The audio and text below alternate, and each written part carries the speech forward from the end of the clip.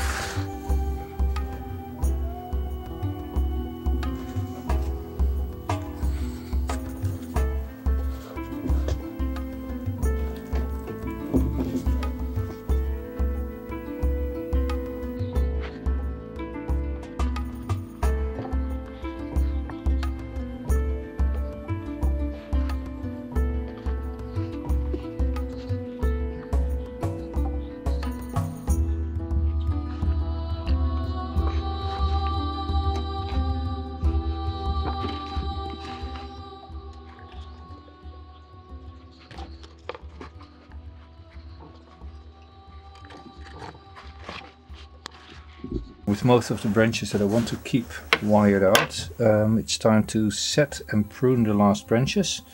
As said, it's going to be planted roughly like this. New top, a first branch, and then this should go a little bit more like this. This is the cascading branch with a few branches here at the bottom, all of which need to grow out. This one can just go, not going to use it. This one I can split here at an intersection. Interesting to see. If you're pruning Picea, look for side branches between the needles and clip at a side branch. That way you ensure you have buds later on. A little bit long. Important if you're bending branches that you try to bend it right at the connection point to the trunk. So here this one is going to go down. So it's not coming up and then down, it's going to go straight away down in the flow from the trunk down and out and then up. And here at the tip as well, this needs to go down and come up a little bit. Down and come up a little bit, come on. This one also, I wanted to go down and then come back up. And then prune back to a side branch here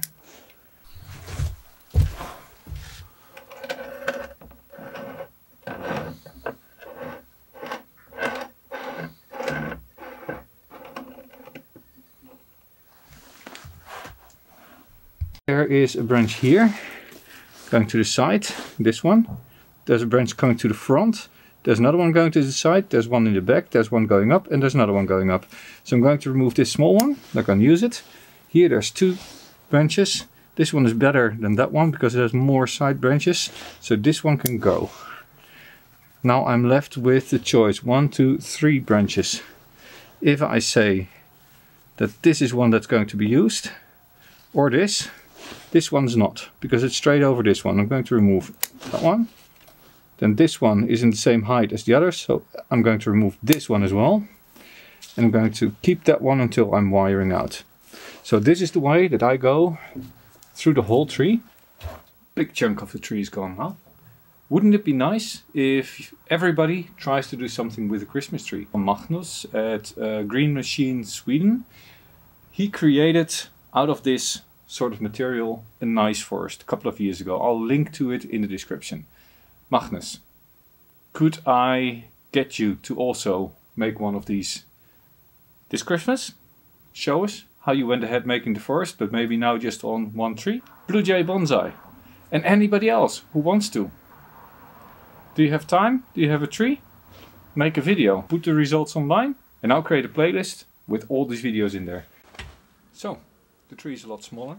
Um, as said, I've removed all the inner branches and I've removed branches that are double or triple in the same spot, trying to leave options for styling.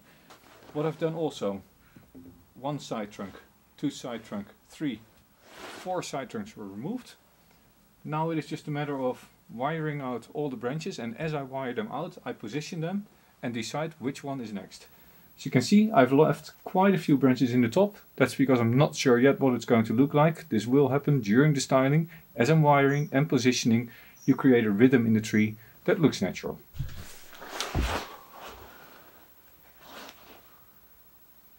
Okay, that's enough for today. Um, sun is setting, there's a little drizzle coming down and it's basically just unpleasant outside. So I'm going to put this inside. Um, I'm not sure when I have a chance to continue with this video and this tree. It might very well be that I'm then inside in the shed with poor light. Oh well. As you can see, the main branches up to this point have now been wired. Um, what I'm going to do next is I still need to wire this part and I'm going to trim back. Right, the little drizzle, the darkness, it's all gone now. It's frozen. It's still about minus 5 Celsius and I've put the tree in the shed. And I misjudged the temperatures. This shed normally stays reasonably frost-free, but with minus 10 also here it starts to freeze. So now I've heated this up a little bit. I've put the heater on this morning for an hour. It's frost-free, the tree is thawed out a little bit. Um, I'm just going to do a bit of basic pruning. Thaw should start overnight. Tomorrow morning I can start wiring again. These uh, spruce branches, they might look like they're just singular branches without anything on them but needles, but if you look carefully, you see there's a bud there, there's a bud there, there's a terminal bud and there's buds on the inside. So when pruning, make sure that you prune at a bud. Same here. So go through the tree like that, you create a shortened branch, make it in a profile that you get around the tree, don't get a triangle but also the top, it needs to be a little bit rounded. Make sure the branches are not all in the same length. You want some shorter, you want some longer, so it is a little bit an uneven profile.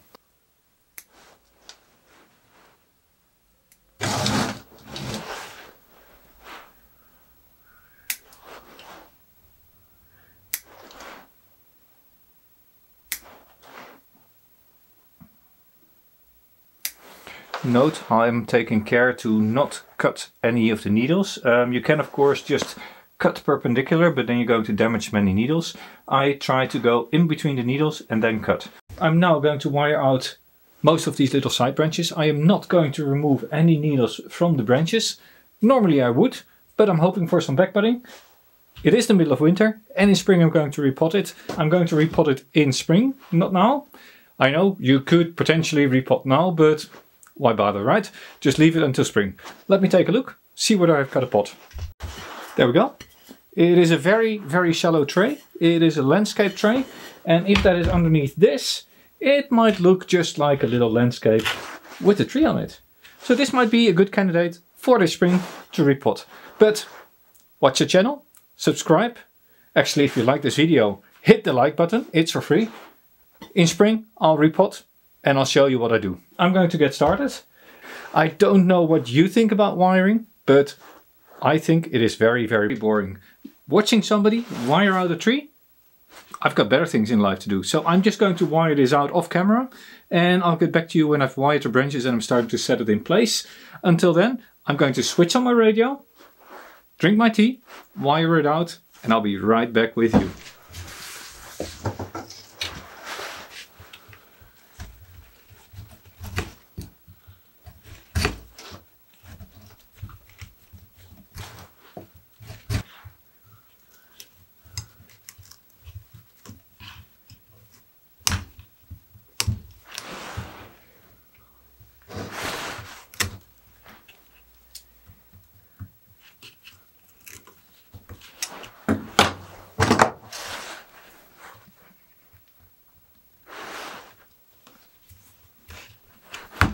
All wired out. Most of the branches have been wired. Some branches still need to be removed. Let's start positioning. So what I've done, I've not wired every single branch, uh, but I've wired just enough branches to get a few pads going. As said before, I want fairly steep hanging branches and I want all the bends to be right at the trunk line. And now it's a matter of taking every side branch that is wired and also fluffing those out a little bit so that you get a bit of structure and long branches I can still reduce. Of course making sure that if there's wire on it that I don't cut through the wire. Um, effectively, this is roughly what I'm after here. Something like this. Now some branches like this one have very long branches and I can also put these lower that they form their own little platform. Reduce these a little bit. Reduce this one here. How far have I wired? All the way.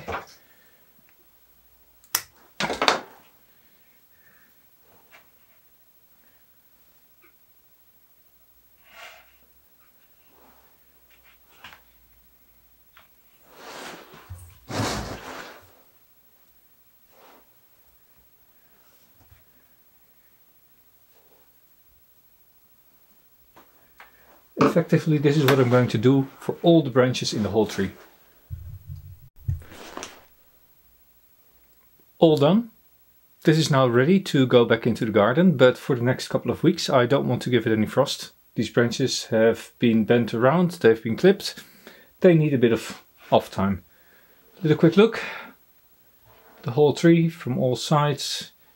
It's fairly nice and filled. Um, one of the key things to remember is try to get the angle at the trunk quite steep. No loops up and down. As the branches go towards the top, it can be a little bit less steep, but not too much. If you have multiple branches, create individual tiny little pads. And yeah, that's pretty much it. This is the tall one. And of course, we also still have this one.